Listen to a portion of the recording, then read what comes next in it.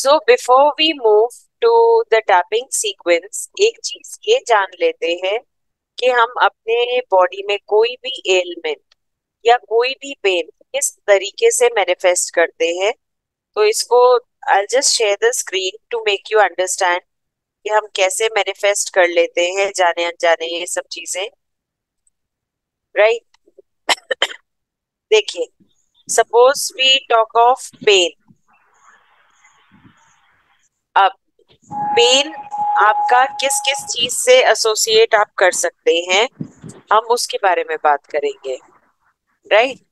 तो अगर हम बात करें पेन को हम कैसे एसोसिएट कर सकते हैं अलग अलग चीज़ों से तो सबसे पहला आता है आपका प्रेजेंट इमोशनल स्ट्रेस जो भी आपकी लाइफ में इमोशनल स्ट्रेस है, वो पेन के फॉर्म में मैनिफेस्ट हो जाता है फिर और कौन कौन से ट्रिगर्स होते हैं जो पेन स्टार्ट करते हैं? Past emotional issues past emotional issues ज़्यादातर देखा गया है in case of middle age and young age people they crop up from the childhood मतलब किसी के बचपन में कोई पास्ट इमोशनल इशू रहा या कोई ट्रॉमा रहा और उसकी यादें उसके मन में बस गई तो वो उसे किसी ना किसी प्रकार का दर्द दे देंगी। अगर वो नहीं रिलीज़ करना चाह रहा है तो पेट से रिलेटेड प्रॉब्लम्स हो जाएँगी। अगर वो इंसान उस चीज़ को बार बार गिल्ट के फॉर्म में ले रहा है तो उसके सिर से रिलेटेड उसे बहुत सारी प्रॉब्लम्स होंगी। So that is how past emotional issues they trigger pain अब ये आपको अगर इसको हील भी करना है तो आपको उस समय तक ईएफटी करके जाना होगा। जब ये पेन एक्चुअली स्टार्ट हुआ। और ये पेन कब स्टार्ट हुआ होगा? जब ये इमोशनल इवेंट अकर हुआ। Right right? फिर जियो स्पेसिफिक बिलीव्स यानी कि कल्चरल बिलीफ सबसे बड़ा क्या होता है कि शायद हमारे कर्म ही ऐसे रहे होंगे। शायद इसीलिए भगवान हमें ये सजा दे रहे हैं या पनिश कर रहे हैं। देखिए, सबसे इम्पोर्टेंट बात ये समझना ज़रूरी है कि भगवान की क्रिएशन का हम भी उतना हिस्सा है जितना बाकी सब है। तो एक तरीके से देखा जाए, हम ईश्वर का अंश ही है। हर आत्मा में ईश्वर का अंश है। तो उस हिसाब से सब ईश्वर की संतान है। आप उन्हें जिस भी फॉर्म में याद करें। तो कोई भी माता पिता अपनी संतान को कष्ट देकर कभी खुश नहीं रहते। तो इस प्रकार का बिलीफ भी कई बारी हमारे पेन का रीजन बन जाता है, क्योंकि हम ये बिलीफ सिस्टम को अपने अंदर बैठा लेते हैं कि अगर कुछ अच्छा नहीं हो रहा तो हम उसके लिए मेहनत नहीं करते, हम उसके लिए कोशिश नहीं करते, बस इसको स्वीकार कर लेते हैं कि ये तो भगवान हमें सजा दे रहे हैं। फिर एक और तरीका होता है by which we limit our beliefs and that is के पेन नहीं जाएगा। कुछ भी कर लो, ये तो ठीक ही नहीं हो सकता। इतने साल से ये दिक्कत हो रही है, ये तो अब ठीक ही नहीं हो कई लोग तो यही मान लेते हैं, अब ये हमारे शरीर के साथ ही जाएगा। So that is what we have created a limited belief यहाँ पे हमारे मैनिफेस्टेशन में, हमारे थॉट प्रोसेस में ही प्रॉब्लम आ गई कि हमने अपने बिलीफ सिस्टम को सिकोड़ लिया, कि ऐसा तो होगा ही नहीं। जबकि अगर हम इसके विपरीत सोचे, हम पॉजिटिव सोचे कि हम इस पेन को रिलीज़ कर देंगे तो वो एक्चुअली वर्क करने लगेगा। फिर कई सारे इमोशनल ट्रिगर्स इस दर्द को ट्रिगर कर जाते हैं। उसमें से सबसे बड़ा जो ट्रिगर आज तक मैंने देखा है प्रैक्टिकली और एक्सपीरियंस भी किया है कई लोगों के साथ that is anger and guilt anger दर्द को ट्रिगर कैसे करता है? आपको किसी भी चीज़ पे या किसी भी बात पे गुस्सा है। अगर आप उसे बहुत ज़्यादा सप्रेस करोगे तो उससे क्या होगा? आपके सिर में दर्द, आपके बॉडी के डिफरेंट पार्ट्स में दर्द शुरू हो जाएगा। Depending on what emotion you are trying to suppress ठीक है? दूसरी चीज़ गिल्ट क्या होता है?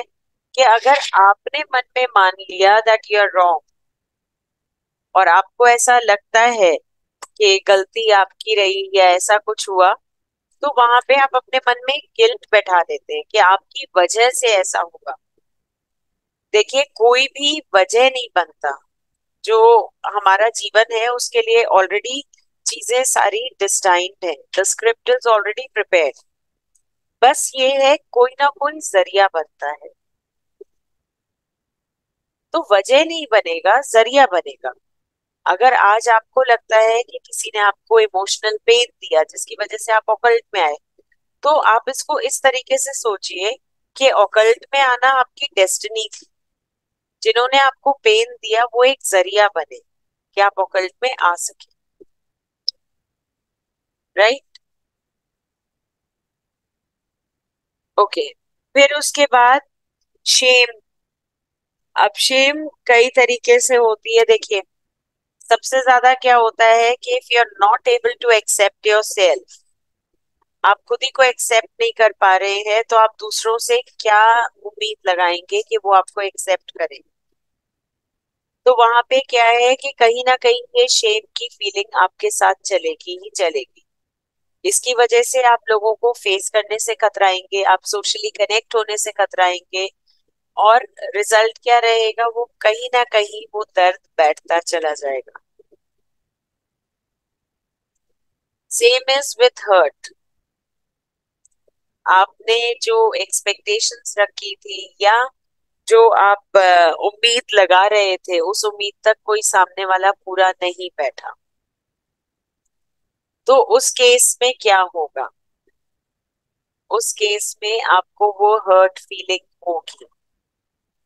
आपको लगेगा कि इसने मेरे साथ ये गलत किया।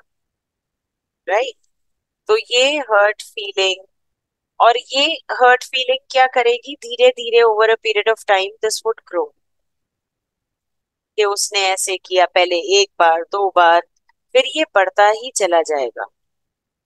तो आप कहीं ना कहीं खुद को सेक्लूड करते जाएँगे, साथ ही साथ क्योंकि आप उसे वेंट आउट नहीं कर रहे हैं, आप उसे अपने अंदर समेट रहे हैं तो वो आपको फ़िज़िकल पेन देकर ही जाएगा।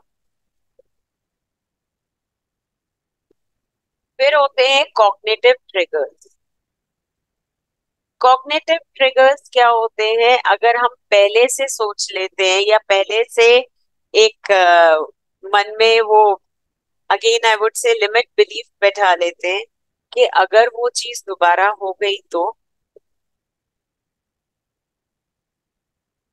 Right right?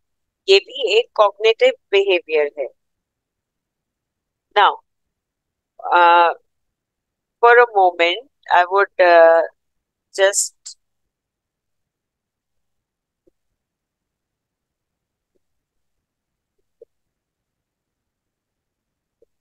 okay okay. अब इसमें देखिए कई चीज़ें ऐसी रहती हैं। अब जैसे लास्ट टाइम जब हमारा ये जो सेशन चल रहा था I remember somebody had asked about epilepsy also. आप लोगों में से किसी पार्टिसिपेंट ने ही क्वेश्चन रेज किया था कि क्या एपिलेप्सी को भी ट्रीट किया जा सकता है। एपिलेप्सी का अगर नोन कारण नहीं है, अगर कोई ऐसी चीज़ नहीं है जो आपके रिपोर्ट्स में सामने आई है, जैसे ब्रेन में कुछ प्रॉब्लम हो या देर इज़ अ क्लॉट जिसकी वजह से सीचर्स आ रहे हो तो आप उसे ट्रीट कर सकते हैं ईएफटी e से भी, क्योंकि फिर उसका कारण जो है, वो मन में बैठा एक बहुत ही ट्रोमैटिक इंसिडेंट है जो बाहर नहीं निकल पा रहा है। उस ट्रॉमा से बाहर निकलेंगे तो हम ऑटोमेटिकली इसको हील कर पाएँगे।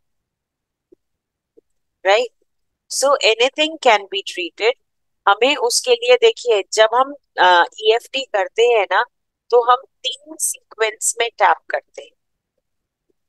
पहला सीक्वेंस होता है that we are accepting are limiting beliefs हम मान लेते हैं कि हमारे अंदर ये कमी है, या ये प्रॉब्लम हो रही है, इधर दर्द हो रहा है, या डिस्कम्फर्ट हो रहा है तो पहला जो स्टेप है उसे स्वीकार करना है। दूसरा स्टेप क्या है कि उससे जुड़े हुए इमोशंस को रिलीज़ करना है। अब सपोजिंग आप uh, के पेट में दिक्कत है and you know limiting belief क्या है? लिमिटिंग बिलीफ या जो इमोशन है उसके पीछे वो है होल्डिंग बैक ऑफ़ थिंग्स तो आप पहला राउंड जब आप ईएफटी e का करोगे तो आप एक्सेप्ट करोगे कि आपको ये ये प्रॉब्लम हो रही है। कि आपको सपोजिंगली uh, कॉन्स्टिपेशन हो रहा है या आपको कुछ ऐसी प्रॉब्लम हो रही है जहाँ पेट में दिक्कत आ रही है। Second round would be that you release the emotion that I release all my anger all my aggression towards anybody hurt तो इसमें क्या करेंगे? हम हर पॉइंट पे उन चीज़ों को रिलीज़ करते जाएँगे।